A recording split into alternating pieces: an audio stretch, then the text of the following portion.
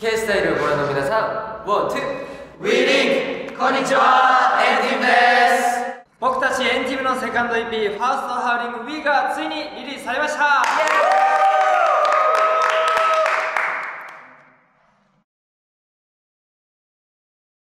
はい、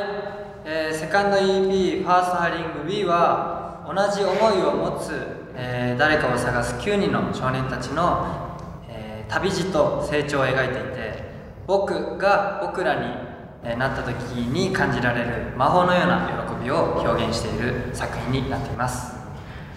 はい、えー今回は初の韓国語楽曲も2曲収録されていてデビュー EP からさらに成長した姿をパフォーマンスと楽曲で、えー見せていきたいと思うのでぜひ期待していってください。はい、えー、とタイトル曲でもある「ファイアワーク」だと思います、楽曲がかっこいいのはもちろん今回のパフォーマンスがとっても激しくて全員のダンスを揃えるのに本当に頑張りましたので皆さんぜひ注目していただくと嬉しいです。今回の EP は日本語の曲と韓国語の曲が入っているのでより多くの方に聴いていただけるグローバルな作品になっていると思います。はい、えっと、話す時と歌う時の韓国語の発音が若干やっぱり変わるというか、その歌う時はもうちょっとこう子音を立たせようとかそういうこう変化をつけるのにすごく苦戦しました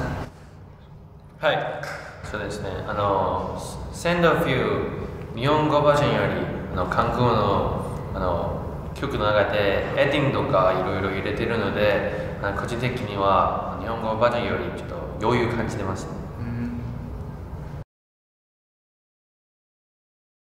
はい、えーそうですね。本当に僕たちが尊敬している先輩方のようにうまくできるかは少し不安な部分もありますがそれ以上に僕たちこのために9人でたくさん準備して頑張ってきたのでその成果を思いっきり発揮したいと思いまえー今回僕たちの初めての、えー本格的なグローバルでの活動なので、えー世界中の方から注目されるようなアーティストになれるように僕たち、えー頑張っていきたいと思います。ファイティングもっとたくさんの方にエンティームのことを知っていただいて僕たちがワールドツアーをできるように頑張っていきたいと思います。すこれからもエンティームのニュースは K スタイルでチェックしてくださいね。以上エンディングでしたバイバイ